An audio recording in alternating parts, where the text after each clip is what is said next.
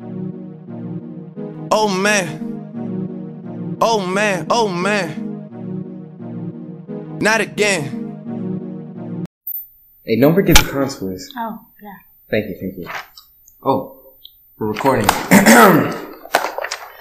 Good afternoon, Raiders. I'm Jorian Marshall. And I'm Anahi. And you're watching the Weekly Wrap. Today on the Weekly Wrap, we talk about finals, graduation, and the last week of school. In world news, a 6.7 magnitude earthquake struck Ecuador. Luckily, there were no fatalities reported. In state news, nothing. Nada. In school news, this is the last week of school for underclassmen, meaning finals are in fruition. Make sure you study hard and get enough sleep. And that's, That's a a wrap. wrap. Have a great summer. Oh man.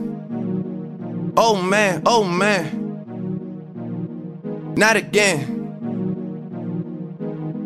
Yeah, I learned the game from William Wesley. You can never check me. Back to back for the